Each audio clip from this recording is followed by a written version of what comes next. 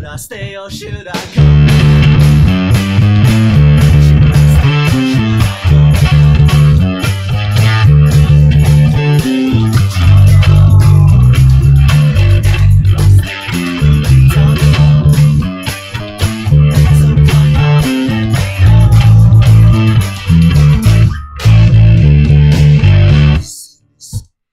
Ciao, benvenuto in questo nuovo video, io sono Carlo, andiamo a suonarci questa bellissima canzone ormai storica dei The Clash, Should I Stay or Should I Go? Eh, davvero carina e come al solito a me piace molto prendere le canzoni originali e andare a fare tecnica sul, sul basso, quindi quale migliore occasione se non un, un brano che poi possiamo mettere in pratica eh, suonandolo con, eh, con, gli amici, però nel frattempo noi lo studiamo facendo tecnica, che è più divertente che suonare soltanto degli esercizi, secondo me. Allora, andiamo a sentire. Innanzitutto sentiamo il suono del basso, è molto distorto. Andiamo a prendere, te lo faccio sentire, infatti io ho messo un, un distorsore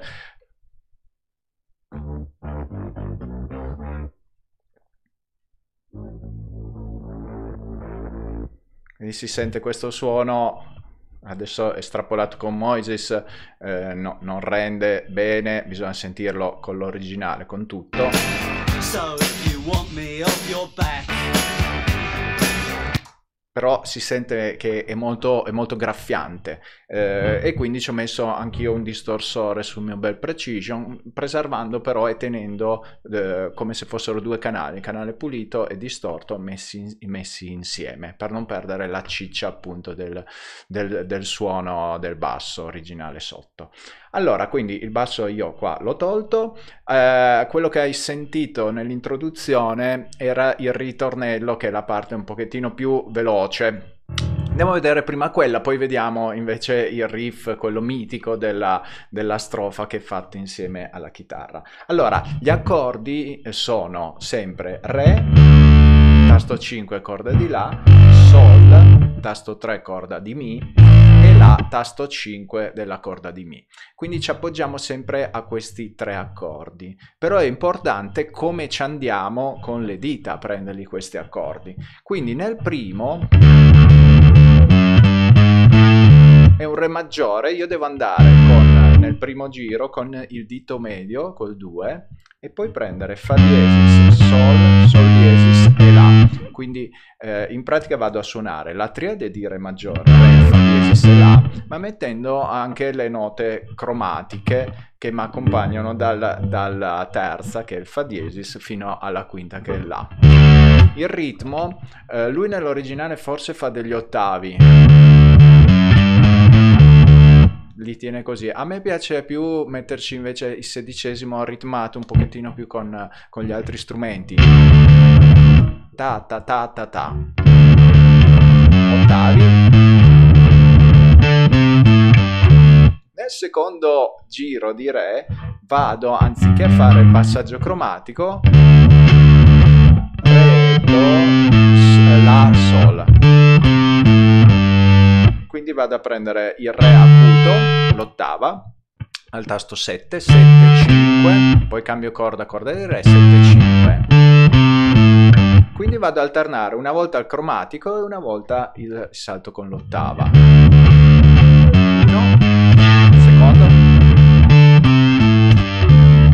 Qua eh, poi viene eh, girato uguale nel Sol e quasi uguale nel, nell'A, quindi una volta che ti sei fatto una diteggiatura poi la porterai sugli altri accordi. Il difficile però, cioè il difficile, il bello è andarsi a creare una diteggiatura, mentre nel primo giro è abbastanza obbligato perché dobbiamo partire col 2 perché poi abbiamo il Fa diesis qua. 1, 2, 3, 4. Nel secondo giro dove abbiamo l'ottava, se noi teniamo il medio sul Re, sicuramente scolasticamente è più giusto, perché ci porta a fare mignolo, medio, mignolo, medio.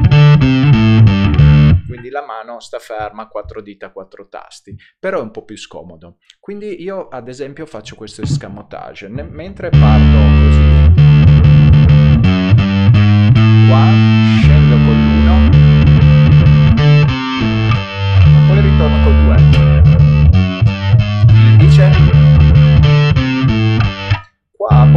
la scelta se fare mignolo indice oppure fare, scolasticamente più giusto, però un po' più faticoso, anulare indice. Per poi, attenzione, ritornare però con il medio sul re se giro di nuovo quello cromatico. Ok, andiamo a provare a suonarcelo, vediamo se riesco a prendere dov'è. Un po' più avanti. Should I stay or should I?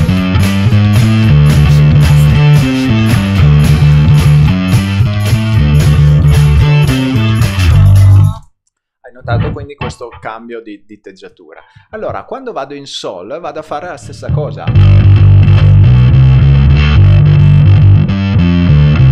E quindi vado, a- una volta studiato una diteggiatura, poi la porto anche qua. Eh, proviamola anche insieme, dovrebbe partire adesso. Ecco, potremmo prenderlo come esempio, ad esempio per rallentarlo un po', quindi origina- originale 112, mettiamolo a 106, un pochettino più lento, ci dà un po' una mano a diteggiarlo anche meglio. Quindi noi partiamo con il re, ti dico anche gli accordi. Re,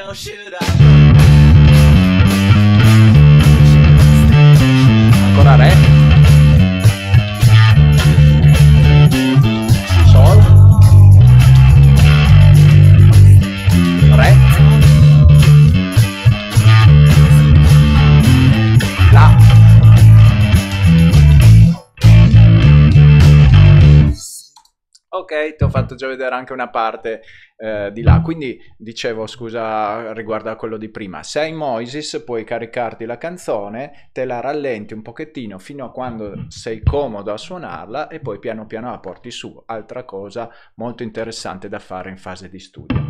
Allora, nella, anziché fare il passaggio cromatico,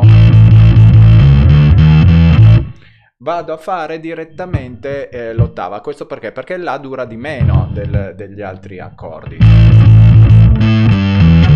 Perché qua c'è lo stop eh, insieme alla voce, insieme agli altri strumenti. Quindi vado a prendere solo il secondo, però la diteggiatura posso tenerla lo stesso. Quindi parto con l'indice. Andrò a prendere la appunto, sol appunto, mi, re, poi ritorno con la. Eh, poi c'è lo stacchetto per tornare sul riff iniziale che eh, va a prendere la la re re re sol re. Andiamo a sentirlo. Che è questo. Dopo andiamo a prendere il giro, quello iniziale, che non ti ho ancora fatto sentire, però è molto bello ed è quello un po' iconico di, di questa, di questa canzone, perché viene fatto all'unisono con la chitarra. If